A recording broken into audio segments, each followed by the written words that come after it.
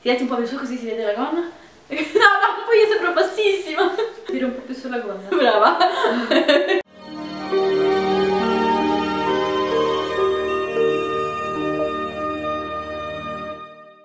Buon salve a tutti, benvenuti in questo nuovo video. Ho qua come ospite specialissimo Fiore Manni. Ciao a tutti. Sono qua a Roma perché stasera andiamo al concerto di Aurora. Lei carissima mi, mi ospita. faccio, poi faccio l'accompagnatrice stasera. Solo in che senso? Ti accompagno... Ah no, deve così perché sono... No, nel senso... Nel senso che ti accompagno al concerto stasera. Cioè, perché faccio sempre... Non so come stai battute. Da solo che, che vedo il marcio dove non c'è. Lei mi accompagna. Ti accompagnerò al concerto di Aurora. Esatto.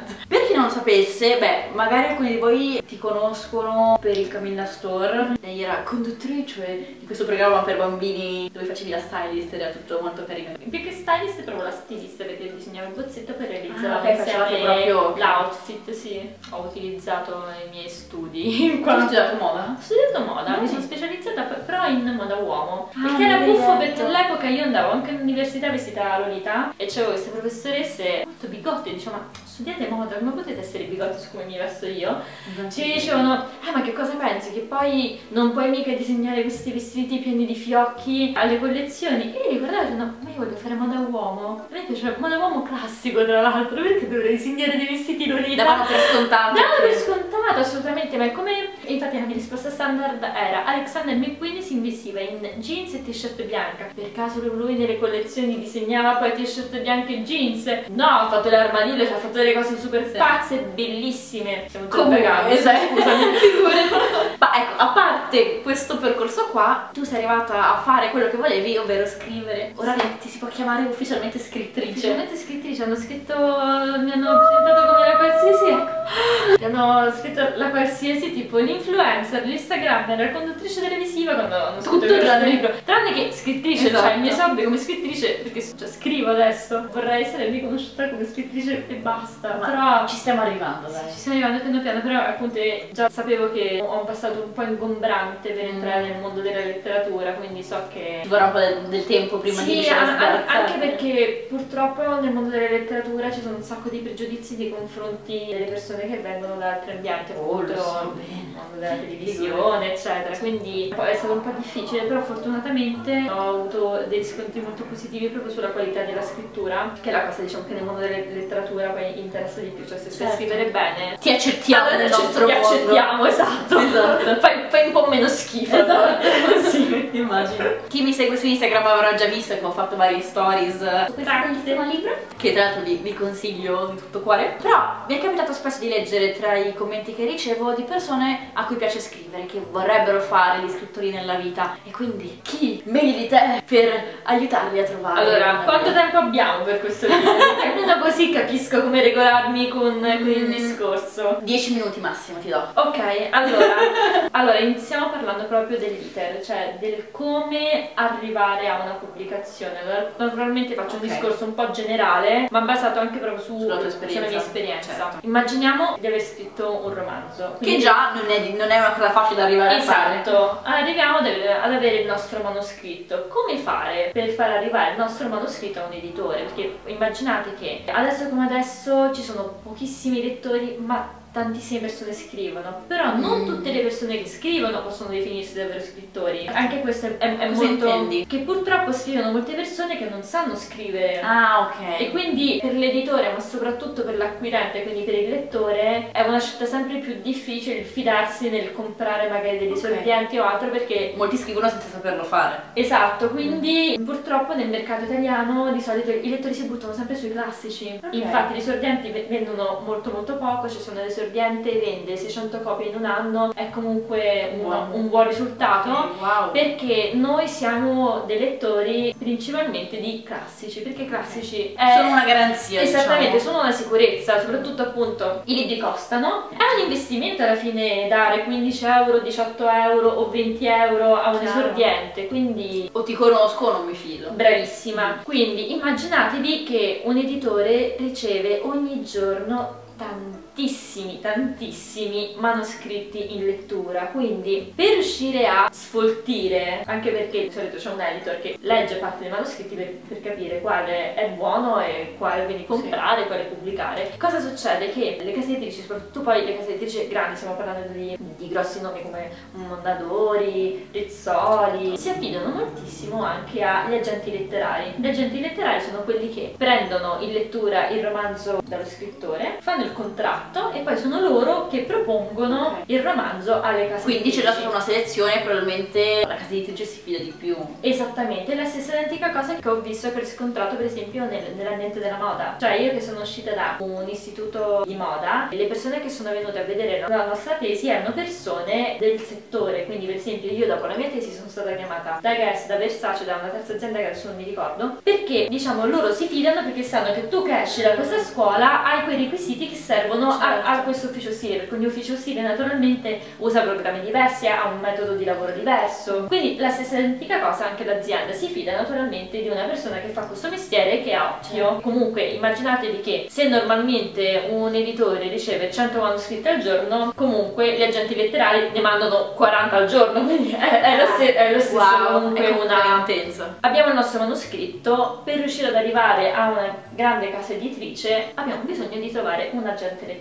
Dici per forza, dici che è per meglio. Forza. Per forza perché purtroppo, sì sì appunto, o il nostro romanzo d'esordio magari ci vogliamo affidare a una casa editrice piccola che ha un pochino più di più cura di noi nel promuoverci perché comunque essere pubblicati con una casa editrice grande ha comunque vantaggi e svantaggi, ovvero vieni pubblicato insieme a tante altre persone che sono molto più famose di te, sono molto più conosciute. Quindi di passare più in secondo piano. Assolutamente, una casa editrice piccola invece che magari sta crescendo ha più cura nel promuovere il tuo libro. Non che crede di più o meno in certo. te rispetto a una casa editrice certo. piccola, però effettivamente ha, ha più possibilità di, di seguirti. Certo. La stessa identica cosa vale anche per le agenzie di agenti oh. letterari. Quindi un'agenzia grande c'è il rischio che ti lascia un po' a te stesso, quella piccola invece col fatto che gli agenti letterari guadagnano sui successi dello scrittore, ma funziona così come gli agenti per i registi, gli agenti per i certo. sceneggiatori, gli agenti per, per gli tutti. attori, per tutti quanti, per le agenzie di modelli, insomma, sono alla fine delle persone che ti trovano a te il lavoro. Naturalmente loro ci devono, devono, devono guadagnarci anche loro che... Quindi sono spronate a trovare a, a venderti il libro. A, vende, a, vendere bene il tuo libro perché se il tuo libro vende, il prossimo lo vende di più certo. e così ti aiutano comunque a, a, creare la tua carriera. Quindi bisogna capire il mio romanzo d'esordio, cosa voglio fare proprio con delle agenti letterarie grandi o con quelli piccoli e là proprio penso che poi si scelga proprio a livello umano. Tu come hai fatto? Io sono stata, ho scritto a due agenzie letterarie che erano diciamo quelle più grosse in Italia, mi avevano scelta tutte e due. E poi ho scelto quella naturalmente che mi aveva fatto poi la proposta migliore perché naturalmente gli editori si prendono una percentuale quindi io poi ho scelto quelli che eh, mi offrivano le condizioni migliori insomma. E io adoro la mia gente. Oh sì io sì, visto che... adoro, l'adoro tantissimo è fantastica e, ed è molto importante che ti piaccia il tuo agente perché tu devi essere soddisfatta al 100% perché alla fine penso che un libro sia una cosa importantissima tu, tuo figlio sì cioè esatto è come se fosse tu tuo figlio e tu lo lasci alla maestra d'asilo. Non vorresti mai scoprire che la maestra d'asilo picchia tuo figlio.